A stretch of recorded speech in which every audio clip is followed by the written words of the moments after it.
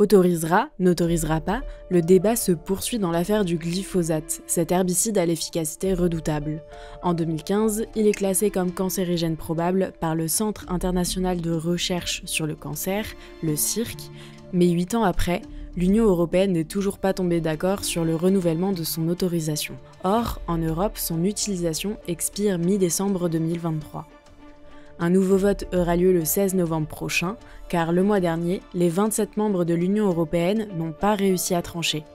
En effet, si les pays d'Europe du Sud et de l'Est ont voté en sa faveur, l'Autriche, l'Allemagne et le Luxembourg se sont prononcés contre.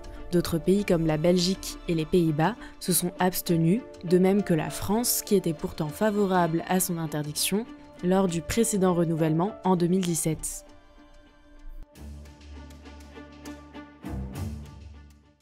Il n'existe pas de consensus scientifique sur le glyphosate. Les études s'accordent sur le caractère dangereux et toxique de la molécule, mais il y a une différence entre le danger, intrinsèque au produit, et le risque. Par exemple, le feu est dangereux, mais dans une cheminée, si on ne met pas sa main dedans, il n'y a pas de risque. Ainsi, un produit peut être dangereux, mais à faible risque, si l'exposition ou les doses sont limitées. Pour interdire ou non un herbicide, c'est ce second aspect qui est pris en compte, s'exposer au glyphosate de manière répétée est dangereux, et cela peut être le cas pour les agriculteurs, mais pas pour la population générale.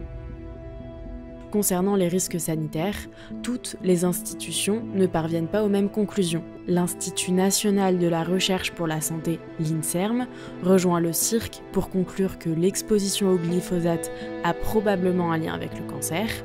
Mais les instances européennes comme l'EFSA, l'autorité de sécurité des aliments, estiment qu'il n'y a pas de préoccupation critique liée à l'utilisation de l'herbicide.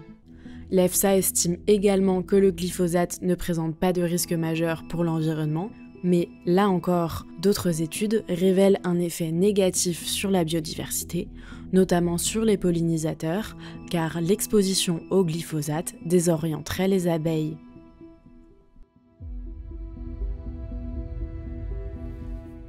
Ces différentes institutions ne sélectionnent pas leurs études scientifiques selon les mêmes règles.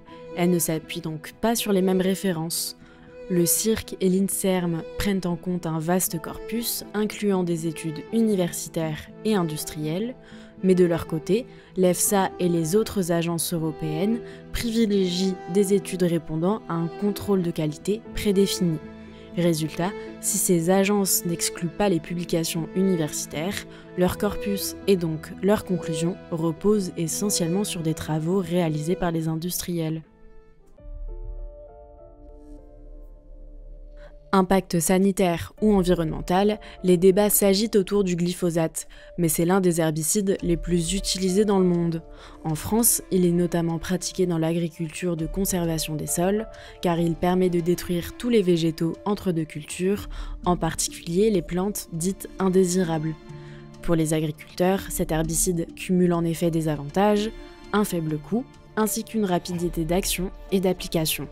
L'interdire risquerait donc de bouleverser les pratiques des agriculteurs, mais aussi d'augmenter le prix des aliments sur le marché européen. Reste qu'il y a des doutes concernant ses effets sur l'homme et l'environnement.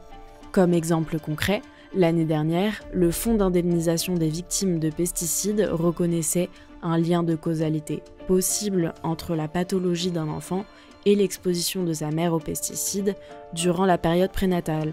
Âgé de 16 ans, Théo souffre d'une maladie grave qui lui a valu de nombreuses opérations du tube digestif. Alors qu'elle était enceinte, sa mère travaillait dans un centre équestre et a manipulé du glyphosate. En France, c'est la première fois que cet herbicide est considéré comme une cause potentielle de malformation congénitale, mais avant que le lien entre l'exposition à cet herbicide et la maladie soit considéré comme probable et non plus seulement comme possible, de nouvelles études scientifiques devront être menées à bien.